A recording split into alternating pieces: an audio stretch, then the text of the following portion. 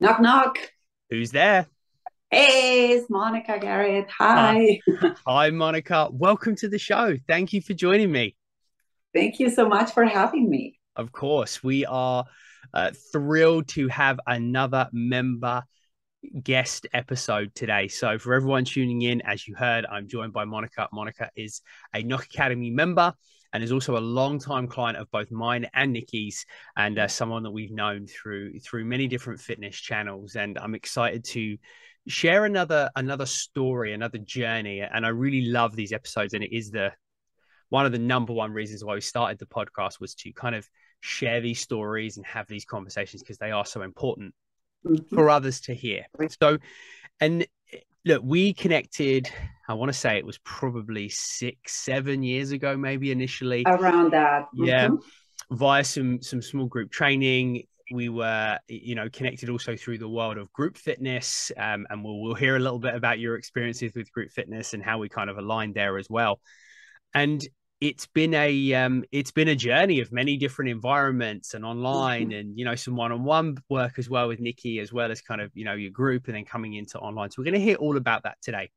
Yep. However, I always love to start because I have this I see this correlation with everyone I talk to with where they're currently at in their fitness journey, when they started that fitness journey and how those early influences in life are affect that because we get very imprinted on what we experience, what we see.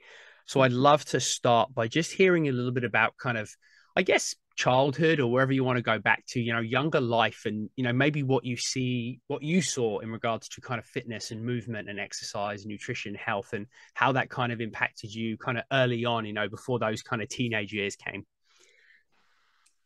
So Gareth, I uh, I discovered fitness later in life. I have to admit that. I am the youngest of eight kids uh, which is a lot of kids. And frankly, my mom never pushed me to be active. She did push me to play and interact with kids, but but she really didn't encourage me much to be part of a sport. She wasn't against it, but she didn't encourage me. And I did need a little nudge. And and you know, being the youngest, and I did suffer a lot with weight problems, which I still have.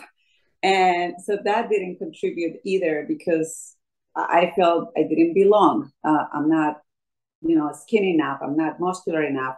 So all this to say, it, it really took me a long time to get into some sort of activity on a continuous basis because I don't consider doing, you know, ping pong or playing something once a week, every two weeks or something like that a, a fitness activity was just for fun, right? So I really started late. I started in my 30s and and no turning back. Um, I really wish I could have done it earlier because uh, the, ben- the benefits have been immense. I, I can't even number them. So, um, but yeah, that's a little bit about my my journey. Not I have to admit, not not since early childhood. It was very late in life. Yeah, for sure. And I think that's quite a common story for a lot of people, and, and especially with your upbringing, you know, having so many siblings.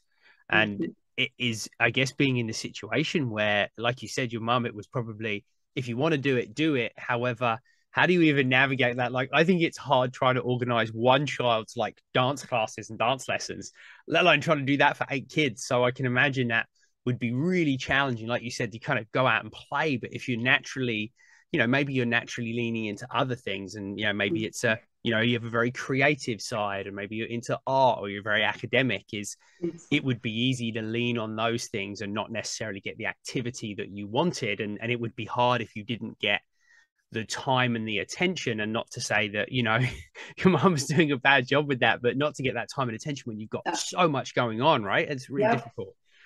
It was exactly. And and also gareth so i come from colombia um, I'm gonna age myself a little bit, but but things were different back then.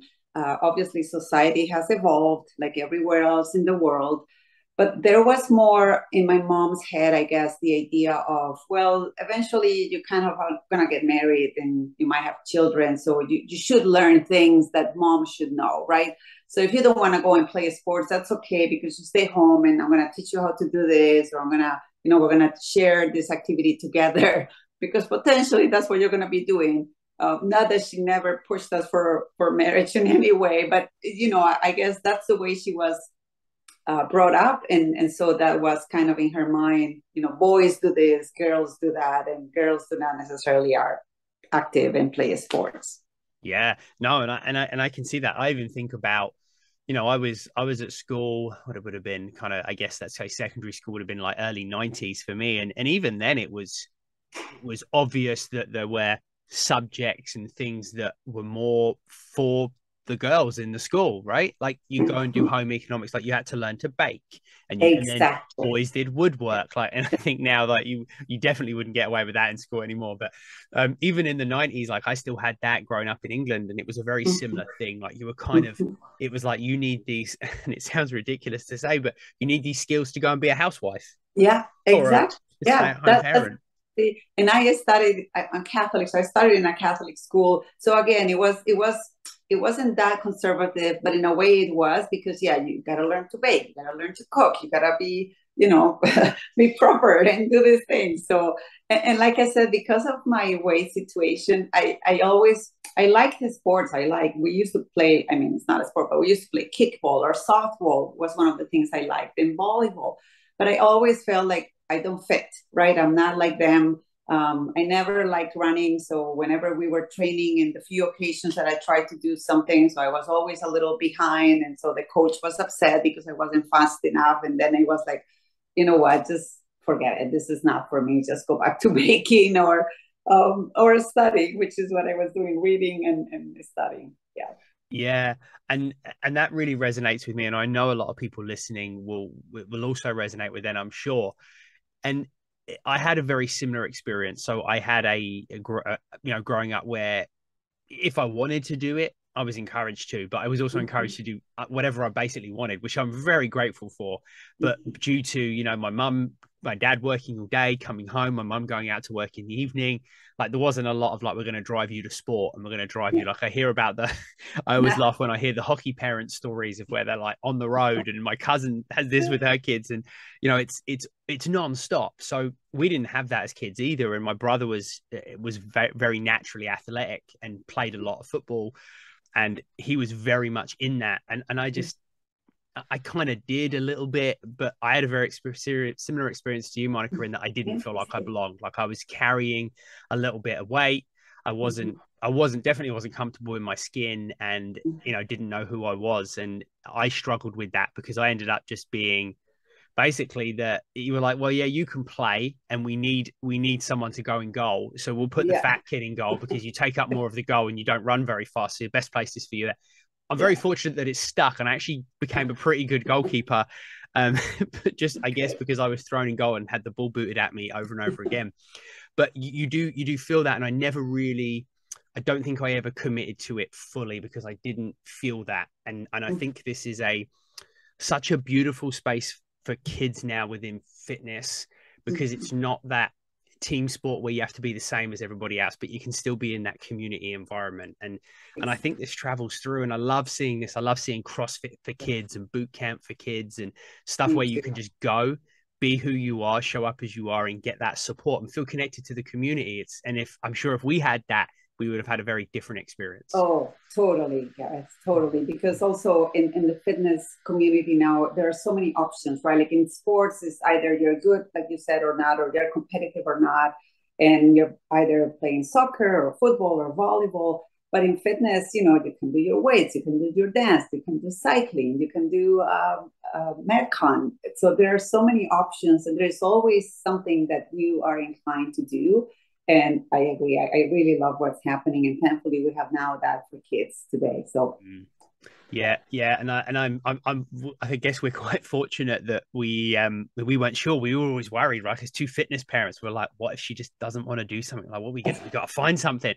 We were yes. fortunate; she followed in mummy's footsteps and, and love dancing right now, dancing, which is great. Yeah. But it's an expressive, creative outlet where it's not too heavily focused on yes, she needs to be able to perform, but it's quite individual as well. So I think that's a, a nice spot for her. But you know, not everyone's wants to be in that creative space. So yeah, I really, I really love that that's changing in mm-hmm. the world of fitness, and we're seeing what fitness can do for our strength, conditioning, mindset, uh, you know mm-hmm. confidence and not maybe more what we grew up with which was exercise is is all to do with your weight and that is yes. Where we, what we were sold right? And and what we kind of used it for. So yeah that was um that that's so important. And i love that you you were able to share those kind of struggles early on and uh, because it really starts to paint the picture. And now i guess fast forward high school you know studying college university etc you kind of went through that part of your journey it sounds like without really the influence of fitness and exercise. How did that as a kind of you know teenage girl into kind of adulthood how did without exercise present how did nutrition start to play a part? And did you have any kind of positive experiences with that negative experiences with that? So like i said i i have always a struggle with my weight and i'm the typical yo-yo person up and down up and down. Um, and so since early age and I was exposed then to diets, um, to, to programs to help me lose weight or maintain the weight. So nutritionally speaking, I guess because I was exposed to doctors and nutritionists since early age, I consider myself having a, a decent knowledge into what I should and should not eat. I do admit that as I have grown older, my my taste buds have changed. So I was I always had a sweet tooth but now I crave more vegetables. I crave more uh, grains. Before, uh, I loved creamy stuff. so every time I could, I would eat pasta alfredo. Or, you know, if I had a salad, then the salad was, yeah, maybe some spinach and lettuce and tomatoes, but then I would add cheese and nuts and, and tons of dressing. um, so those were kind of my 20s uh, fried stuff because I come again from a culture that we love fried food. So we, we ate a lot of fried um, not deep fried, but still fried stuff, lots of starches. So it, it, has been an evolution. In spite of me saying that I, I have some knowledge, which I do from my exposure again to doctors and things, but just because of the culture, I guess my 20s were still a little bit aggressive in terms of the foods uh, that I was eating, like lots of carbs and heavy stuff. And then as, as I grew, became 30 and older, then it's like, yeah, I need to balance it better and and I really enjoy now more than ever having vegetables and, and proteins and grains, which I did like before, but not as much as I do now. Yeah, that that really shows that there's a big influence in what we eat growing up and that can be very in your experience i imagine very culturally a big shift i'm i'm assuming so excuse my ignorance but i'm yeah. assuming the the food and the culture growing up in Colombia is very different than maybe what you were exposed with when you came to Canada. And I'm sure the palate and the type mm-hmm. of foods are very different. Mm-hmm. It is. You're right. Yeah, you're not being ignorant at all. It is different, and and it's also you know again how you're brought up. So my mom tried to keep it balanced. So she always, um, I don't want to say forced us, but she always we always had salad. We always had some sort of vegetable, but again we always had the carbs and sometimes fried stuff. And she was like, You gotta finish that. You don't leave the table until you finish that. And it's not that she gave us good portions, but then again, sometimes you were full, but she was saying you need to finish it. So that didn't help me with my weight struggles. Um, and, and, eventually, you know, little by little, I have um, learned, and I'm still learning, obviously, to, to be more mindful about the, the proportion and what I'm eating and, and, and balance it better but it, it has taken me a while. I, I wish I knew this when I was in my 20s. so many things I wish I knew, Monica, that I, I, I didn't know when I was 20. Um, yeah, that's a that's a big one, and this is actually a struggle. I know that there's lots of um, you know lots of our people that listen, uh, you know, busy parents, much like myself and Nikki are, and you know, trying to trying to navigate the dinner table with kids is really tough. I only have one if I'm at eight of you. Um, but this is something that gets imprinted on us, and we we develop like, and not that our parents are were even aware of it. I'm sure, but I did it. I developed this unnatural or this kind of like uh, disordered behavior around. You need mm-hmm. to finish your meal. When you finish mm-hmm. your meal, mm-hmm. you can have this. And you know, yeah. I had that, and I think it comes from their generation. You know, my I guess my mum and dad were 40s, 40s, 50s, where they were born and grew up, and it was it was different. Like it, you only had a small amount of food. It was rationed. Like you ate everything. It was post war, mm-hmm. right? And you, it mm-hmm. comes from that place of, and I know because I, I feel it so deeply, as it comes mm-hmm. from a place of love and care where I want you to be full and I want you to have energy and I want you to make sure your body recovers from a busy day of dancing or exercising or being at school and you you want to encourage your children to eat their food however no one is a better judge of when they're full and when they're hungry than a kid. Like they're just they're so dialed into it. And then we're like oh but you're full up. Okay great. We'll eat this. Yes. Yes so, exactly. and it's it's a minefield. Every day i'm like i wonder if we're messing up our kid. I don't know but i'm trying my best but it's trying to it's trying to find that. And i think as adults we need to look at you know our relationships with food based mm. on just because we were exposed a certain way to food as it doesn't mean that that now is the it has to be the way in which we eat right and we don't have to clear our plate every time we eat and i actually did this today myself i was like i'm full and there's food on my plate and even he was like feeling all right i'm like yeah, yeah. i'm just i'm full up and i'm yeah. not gonna have any more of that i might enjoy something later when i feel like yeah. it but that's a really hard thing for me to do. And it was always, you know, finish your meal and you can have mm. dessert. So we're not only going to force feed you, but now we're going to give you more calories. Exactly. That was the other thing. So you had to finish in order to eat your sweets. And at home, we always had dessert. It was homemade. My mom, because again, growing up, it's not like we had the processed foods that we have today. And some of them were natural, and I'm using quotation marks because it was based on like she made out of figs or blackberries or um, what was the a guava, but but it had a lot of sugar, so it wasn't really healthy, even though it was fruit based. And, and same thing, like you gotta finish this, and you will have your dessert. And me having a sweet tooth is like, okay, I gotta finish this. But to your point, it, it's amazing how much is that that's embedded.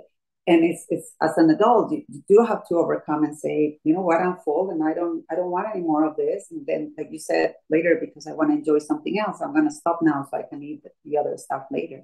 Yeah.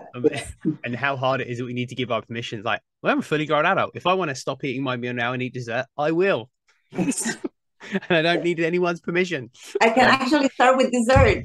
yeah, I'm like, yeah. Sometimes I randomly do that too, and this is actually something I've picked up through my own study of mm. nutritional coaching. Is to have that with with Harley. Sometimes I just maybe I'll just throw fruit on her plate with her meal, and and in some cultures that's very normal, but it, for me, it's not like when we we always had something like that after. I'm like, oh yeah, you can eat it now, like no problem. Like have that now if you want it, and you know, and we we always talk to. This is a really good tip as well for anyone listening that you know wants the guidance with nutrition is just create balance. Like it doesn't have mm-hmm. like we don't force it, but we're always there's protein on your plate, there's carbs on your plate, there's fats on your plate, and there's vegetables on your plate.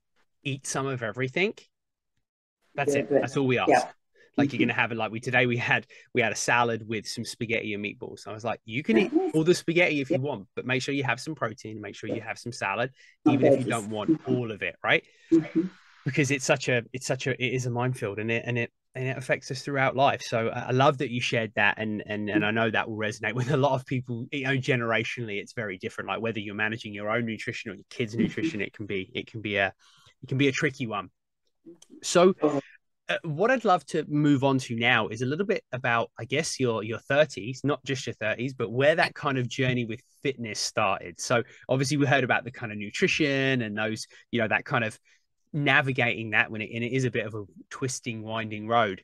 When you got to your 30s, what happened with fitness and how did you start to mm-hmm. get kind of exposed to that? So I I guess my body started craving some movement and I did join a gym, but again, I come from Colombia. It's a country that is, uh, I would say, humanity is based on looks, a lot of relationships, but my country is heavily on the looks. So again, I felt like I didn't belong. Um, but but I, I kind of go like I, I, I like this and I, I started feeling better when I did it. So little by little, I started doing uh, a little more, uh, and I didn't have the concept again of mixing it up. I did understand that I needed some cardio, which I didn't like, to be honest. And I go like, what am I gonna do for cardio? So I tried the step, uh, which I kind of liked it, but then I felt bad because I wasn't doing. Sometimes the, the steps had the risers and I didn't. So anyway, um, so I started doing that. And then when I moved to Canada, it was a huge change in my lifestyle for a year and something, you know, adapting to the country, finding a new job, etc., etc. And, and then I realized again, like I, I need to do something. And I went to a gym and I discovered, like, you know, everyone is okay to be here. It doesn't matter your size as long as you're here and you're doing something. and I started meeting, you know, wonderful coaches and instructors in, in the variety of classes and hearing about, you know, balancing it out, do some stretching, do mobility. That's that's something I learned with you and Nikki. Never heard from that one before, but you know, the strength and and the cardio. And I go, oh, I can do this. Oh, and there is this this dancing class that I kind of can do. So I um being in Canada, I think helped me big time with the exercise because then I, I, I kind of left the guard of I don't belong here at the door. And I said, yes, I do belong here. And, and kind of started understanding also that I'm not competing. I'm doing what I can do and, and found people again like you and Nikki that you're also very mindful of you're a beginner and this is what you do. Or if you have this um, you know, impediment or this hurts, then then stop and because before it was do it even if it hurts now now it was a different concept like no no no if this is not for you then then this is the modification and that's how uh, i kind of started and then i started attending more and more classes and, and discovering things that i liked and enjoyed and and kind of like okay now I, now I'm hooked. I'm not going back to not doing anything. you you you made so many points, and I want to highlight them for anyone that's listening and, and thinking about maybe not belonging or thinking they need to show mm-hmm. up in a in a certain way or a certain outfit or a certain look or they need to i hear this all the time i need to be fit before i go to mm. that class or fit before i go to the gym is i love that you had such a beautiful experience that you stepped into the world of fitness, the gym, whatever that mm-hmm. might be for for anyone who's embarking on the journey, is that you felt like you belonged and you could just show mm. up as you. And yeah. I can guarantee you that there are people listening and myself and lots of you know lots of our clients that haven't had that experience when they first stepped in and whether this is just a cultural thing it might be a generational thing it might mm-hmm. just be the gym you went to but if you can find somewhere like that, and I think we're doing a better job in the fitness industry, slowly but surely getting there where we create this place where everyone truly is welcome. Mm-hmm. And, you know, if you're there and you're doing something and you're improving your health and well being, mm-hmm. then you belong there and you deserve to be there. Yeah. Totally. And that's so powerful, so powerful. And eh, so anyone listening, if if you are in an environment where you're not experiencing that my advice is leave and go somewhere yeah. else. Absolutely. Yeah. Find somewhere else, right? And you know, maybe that's and this is where we have these beautiful options of the gym in person, but maybe you want to come online and maybe you just don't want to turn your camera on for the first few weeks. Maybe you just want to kind of hang out and it's almost like hanging out and hiding in the very back of the studio in a class or whatever it might be, hiding on the bike in the corner, right? And, and that's okay. And, and maybe it's just finding that and feeling comfortable, but you should be, and we're going to dig into this a little bit later, but mm-hmm. when you look for coaches and you look for people and you look for those support systems and, you know, staff at the gym are that, are that, you know, that support mm-hmm. system is you want to feel comfortable and you want to make sure they make you feel like regardless of where you're on your journey we can meet you where you're at and and that, that comes with great skill and great understanding so yeah. that's important and the one other thing you said which is so important is you started to find things that you enjoyed mm-hmm. that is something we miss and we touched on how sometimes fitness has been sold to us like that you know it's all about weight loss and it's you got to work harder and if you aren't you know dying at the end of it and you can't walk then mm.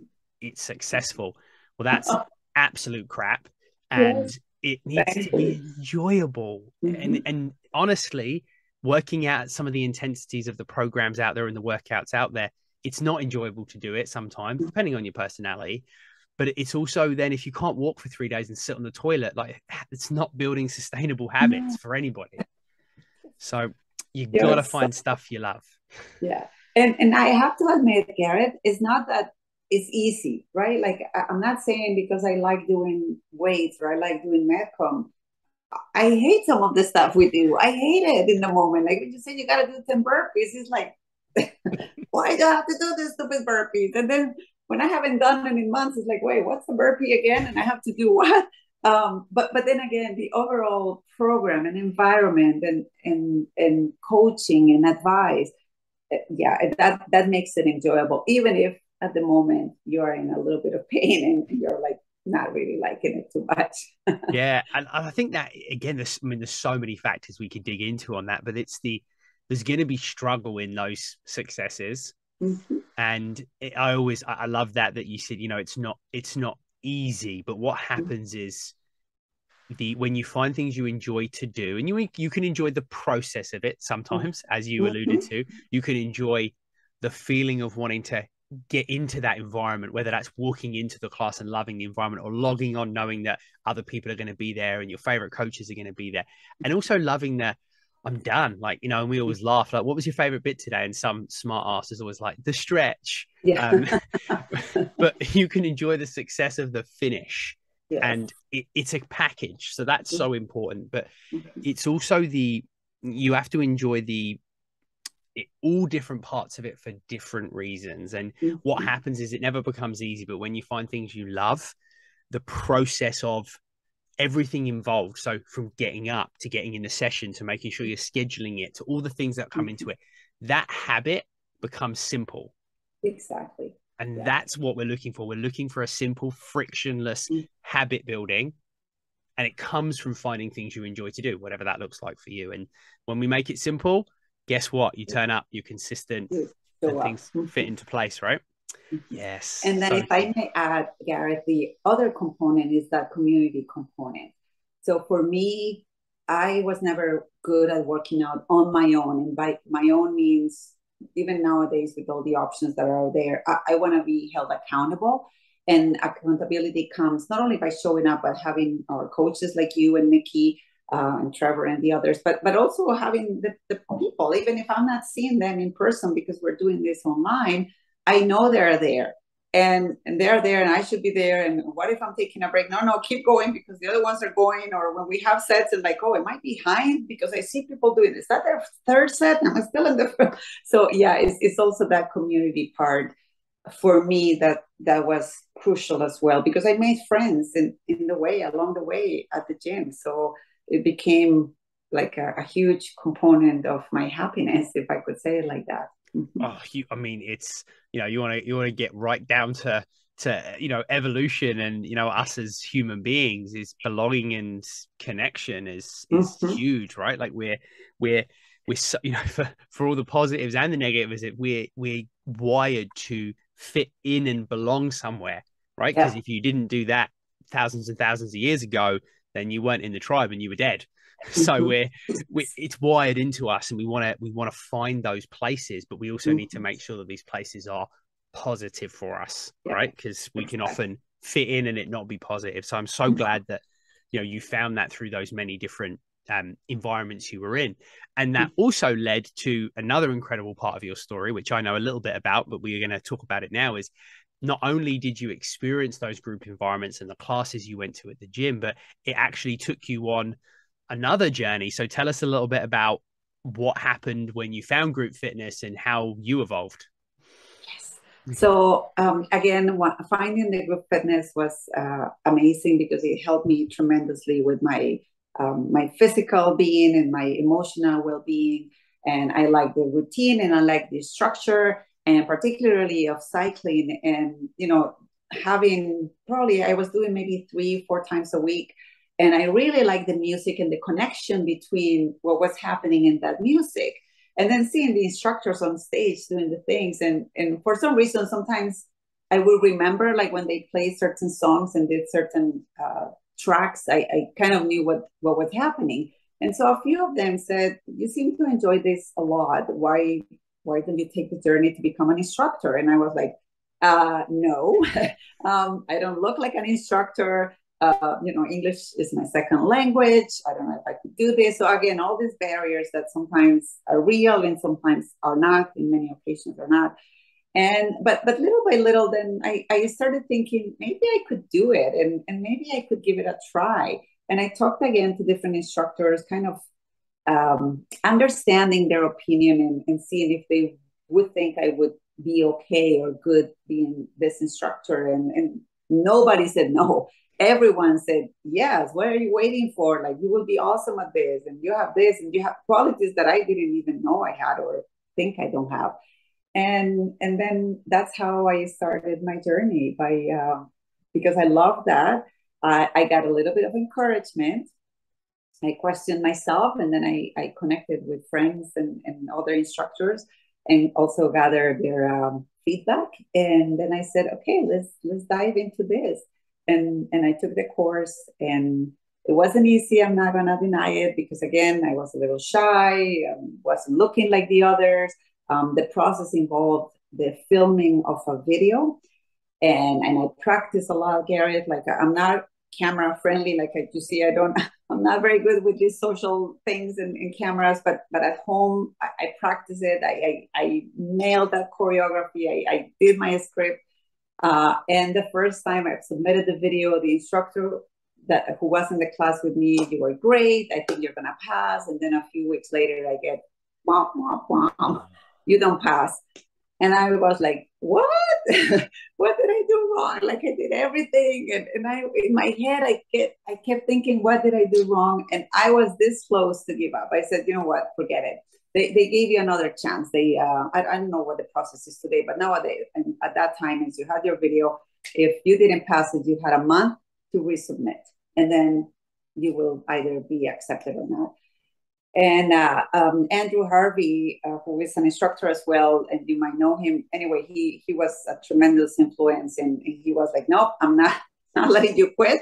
And then somebody else also in the group fitness was like, "Nope, you gotta continue doing. You gotta be you." And I kind of like, okay, let's get up and shake all this negativity and and try it again. And and then I submitted and I said, you know, que será será. What it is, it is. And and I sent it, and then like literally two days later. I get the email and I'm like, oh my God, do I want to open this? And you know how the email sometimes gives you the preview.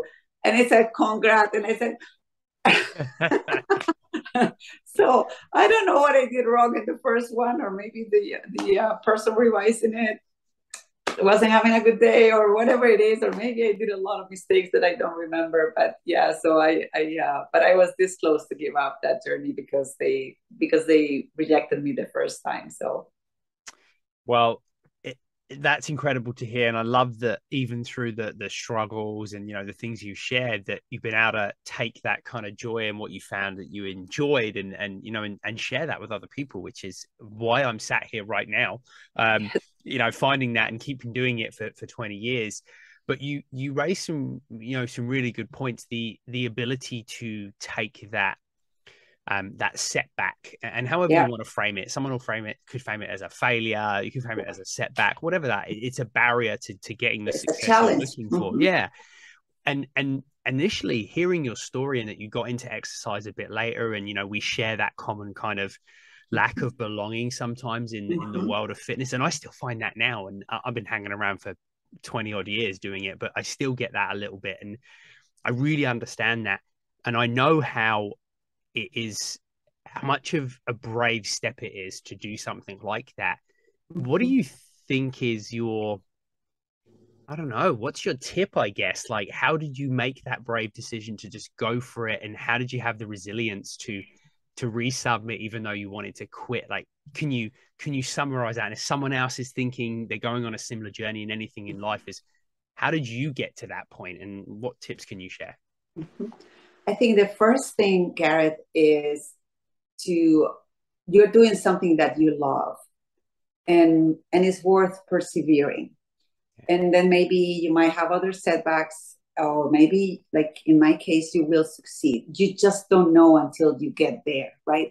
Uh, I did have the uh, luxury or the uh, luck of having people supporting me as well. So if I will suggest for anyone who is in kind of this struggle, if you don't have anyone who is on your side, who is able to tell you the truth. I'm not saying they're going to sugarcoat everything and, oh my God, you're perfect. And I don't understand how come you didn't pass this.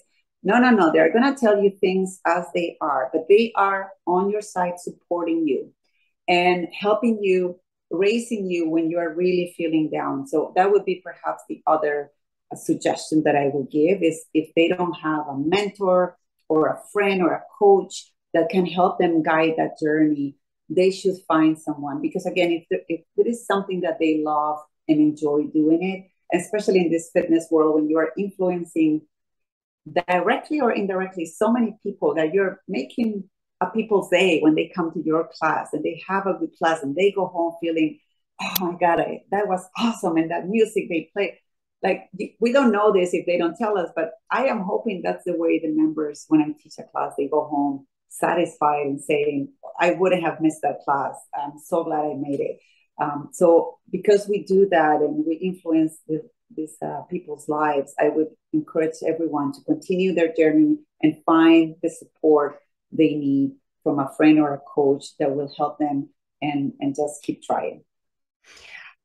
Yeah, massive. And whatever is in your life, whatever kind of barriers are there or setbacks you have, that's really great advice. And I mm-hmm. live by the uh, something a really good friend of mine kind of exposed me to, and it's the it's the statement that it's as simple as surround yourself.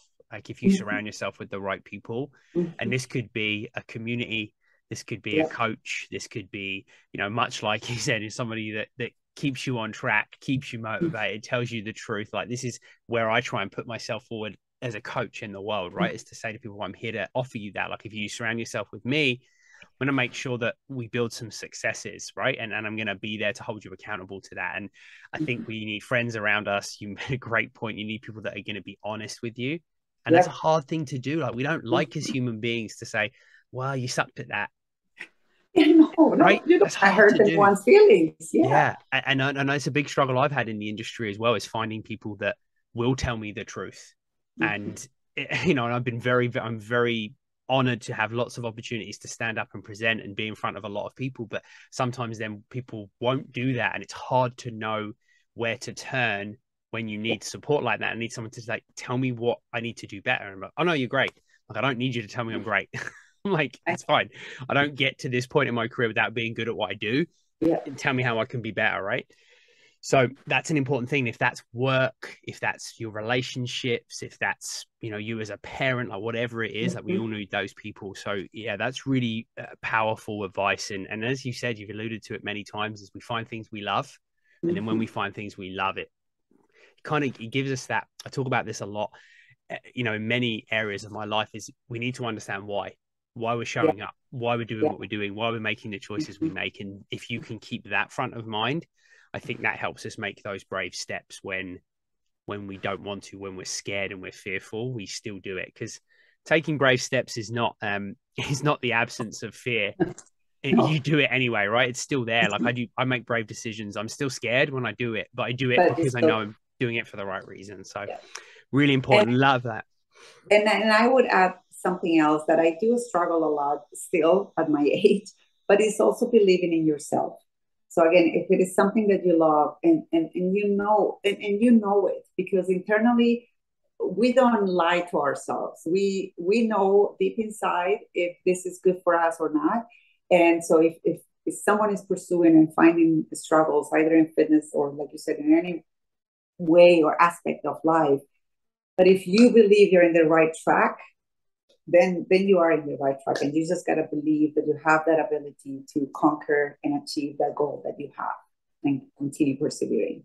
Yeah if you keep taking small steps and you're you know you can stay on track because you're doing it for the right mm-hmm. reason i absolutely agree you'll get there eventually and even when you feel like trust me someone who runs a small business you you feel like it's never going to quite get exactly where you want it to be and then you know, some days you have really good days and really good months, and other times it sucks. So you have to keep remembering why you're doing that, and you know that's been a two year process. So, so we went through this incredible journey, and we got kind of you know let's kind of bring it up a bit more you know to the current day if you like or the current mm-hmm. couple of years is you came along with us on this journey of you know starting an online business we were connected as you as, as everybody heard through many fields and then you decided yeah i'm gonna train online with with Gareth and Nikki, and we all know that COVID had a massive impact on this. But I'd love to hear kind of your thoughts on, you know, initially whether you thought, yeah, I'm, I'm going to train online. I, I, some of our clients are like, no, I hated the idea, and then when I did it, it was great. So you can definitely say that if you want. But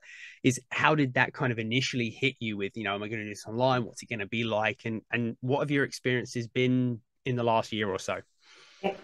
So let me start by saying, I, I think I have told you this before, and Nikki, and and not because we're doing the podcast. I will say it to anyone. I think you both are excellent, magnificent, uh, not only human beings but trainers. The way you coach a class, the the time you put in preparing the class, uh, the thought behind.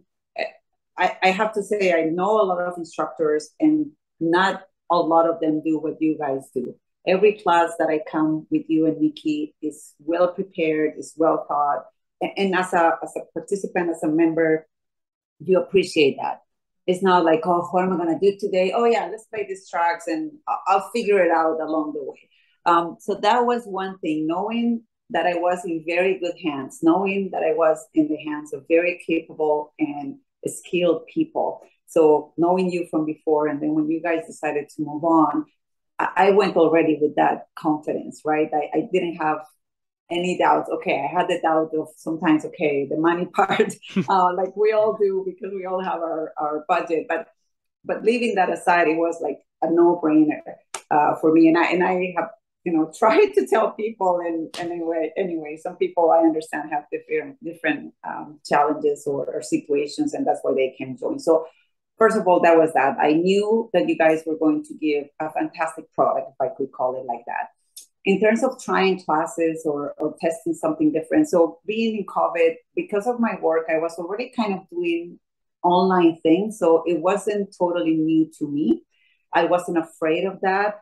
Yeah my concern was and sometimes it still is just because of the um, gadget that I use or the computer. Obviously, when you are in person, it's easier for you as coaches to see what we're doing right or wrong. And it's easier for you to pinpoint and come and say, you know, lift the shoulders or, or, or do this or that online again and it's not you it's on us if, you don't see me you don't see me. You can't correct me right? Um, so i find um, that on the online aspect but but again it's more on my setting at home that on you guys you, you're there to help us but but you need to see what we're doing. So i i really like don't think it twice never hesitated when you guys started because i knew you know i knew i was in good hands and i knew you were going to give us excellent uh, classes. And and again if I have or had a question about something, you always were there to explain. So, hey, I never done Pilates. Can you can you tell me what that is about? Oh, sure, Monica. This is this, and you know the fundamentals are that, and we do this and this. And you gave me an explanation, and then I said, this is something I can try and do. And you know, I started doing it, and uh, oh, the, the light went off, and not turning back. So you always were there also to answer and are still to answer any questions I have, and many of the members have, and, and that gives you so much peace of mind that is like a no brainer.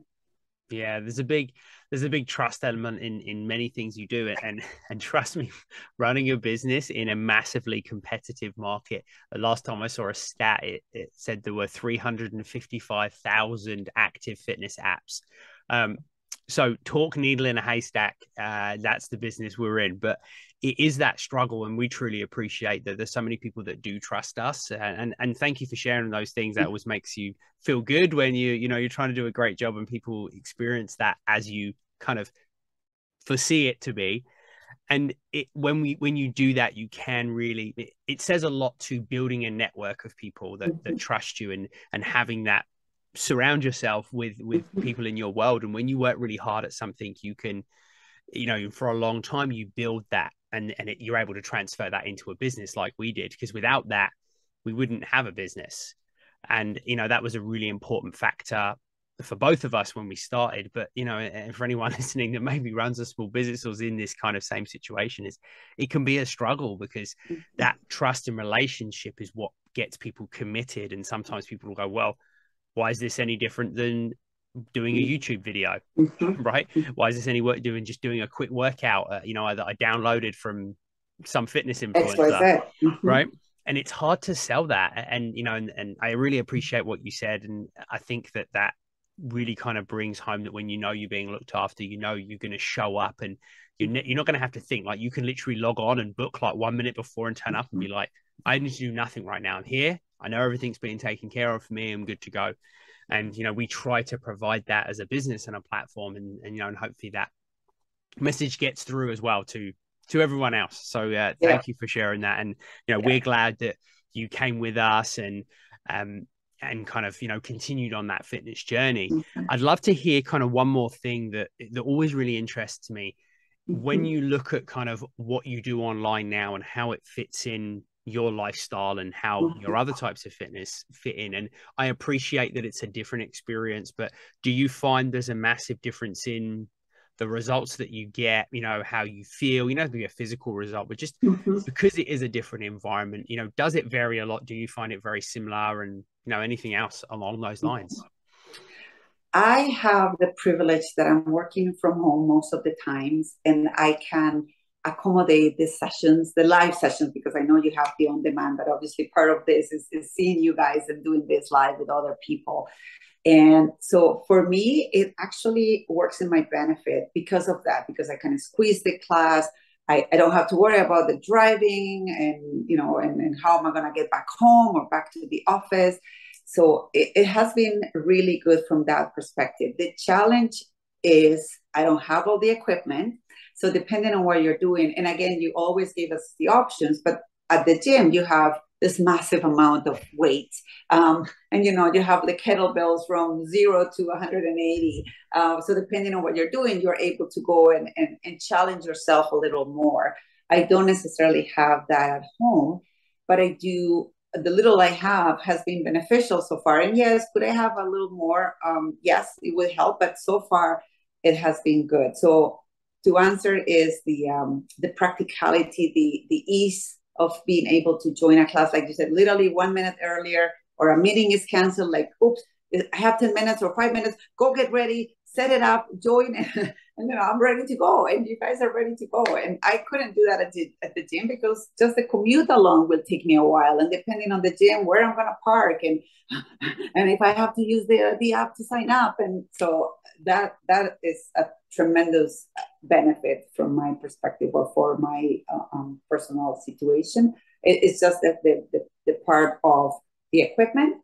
And I do miss, even though again you guys try, but I do miss in, in in-person sessions the fact that you could easily correct me and and kind of help me because sometimes I'm a slow, Gareth, and I don't get it. And, and, and I think you guys see my face when you're trying to correct and then what am I supposed to do? Wait, what? Uh, but if I if you're there kind of you know, hey, do this or or something, then and oh, okay, I get it more. And that's but but that's like with everything, right? Like in life, you get pros and cons no matter what you're doing. But I, I really enjoy the online option and the flexibility that it brings. Yeah, for sure. And and and it's definitely right. And I think as well, if you're very um if you're a very kinesthetic, very tactile person, that's so beneficial, right? To being able to be corrected. Like I'm a very auditory style learner. So for me, if someone's giving me correction, talking me through it, I'm like, got it. Right. So for me, coaching online actually leads a lot to my skill set because like you teach, you know, you typically lean on your preferred learning style.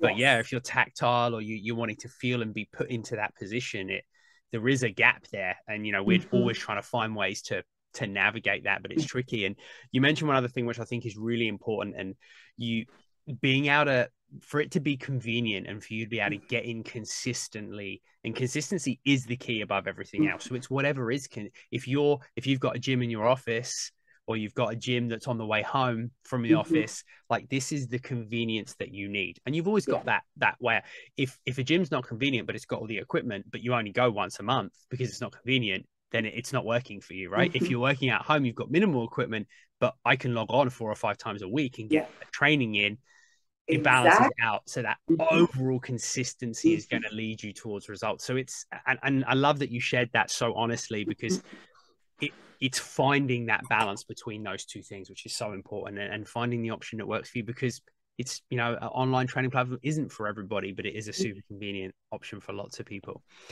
and you um, know what gareth i have learned with you and nikki as well depending on what we're doing sometimes body weight is okay and and you give us those options. You say okay we're gonna do this.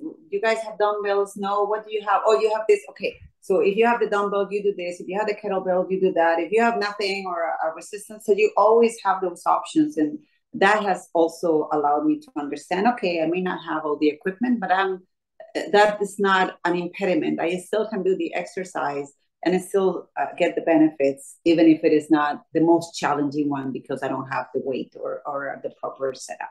Yeah, yeah, mm-hmm. and actually, I'll, I'll, just share. We're going to wrap up soon, but I'll just share that for me, the last couple of years, and you know, I was a bit fearful of starting a business. Like my office is in the basement, the studio's in the basement. like I just stay in the basement all day, and and then I got and then I fitted out. We've got a studio space. I also fitted out a bit of a gym space as well, so I mm-hmm. can do some training at home. And then I really truly do stay in the basement all day.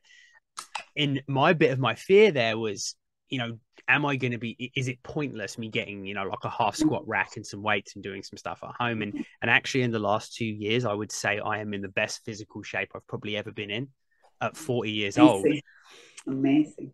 Consistency is a huge part of mm-hmm. that. And for me, the only time I think I was as consistent as I've been, and, and, and I train at one or two days, I might go out to the gym if I'm, you know, out and about, Mhm. but predominantly I train at home, is it's consistency, but it's consistency, but I'm also managing my stress and my recovery so much better because I'm at Yeah. home, I'm balancing my days a bit better. The last time I was this consistent, I was probably on the gym floor 14 hours a day, training eight or nine clients. And I was in such good shape because I'd have a gap, I'd train for 45 minutes, then I'd train again later in the day. But my recovery was poor, my sleep was poor, and I didn't really get great results. I wasn't physically in as good Mm-hmm. shape or mentally. So it's a it's a real you know it's a real balancing act. And my point is that there's a many other factors in place when you're making Yeah. those decisions, and you know Mhm. sometimes we're it surprised me a lot. So hopefully that that helps someone listening. Um, look, we're pretty much at time here. We're going to start wrapping up, but before we do that. Um, Monica, I just want to thank you. Thank you for your honesty, your vulnerability to share a little bit about your story. Um, and and honestly, from my side, it, it these shows are so selfish in a way for me because I get to learn so much about all of them. Is when you run a group training Mhm. platform, you get very small interactions which are positive and beneficial, but they're never Mhm. very deep. And Mhm. I love these conversations because I get to hear a bit more and I get to spend some time with everyone, which is great. Even though we're, uh, you know, virtually, I still get to share that time with everybody. So thank you so much for coming on and, and thank you for everything you shared with us. Thank you, Gareth. Thank you. And I, I again um, wish you and Nikki, you know, lots and lots of continued success. You keep doing what you're doing. You are awesome, honestly. Thank you so much. We really appreciate it. And I guess the last thank you goes to everybody listening. Thank you for tuning in for another episode. I hope you enjoyed it. If you got something valuable, please consider sharing the episode with someone you love and care about. Uh, this helps the world of podcasting go around and helps get the message out to more people. And while you're there, if you could spare 20 seconds, leave us a five star review on Apple or on Spotify or wherever you listen. Uh, we really appreciate it and it helps get the podcast out to more people. That's it for today's show, and we will catch you next week.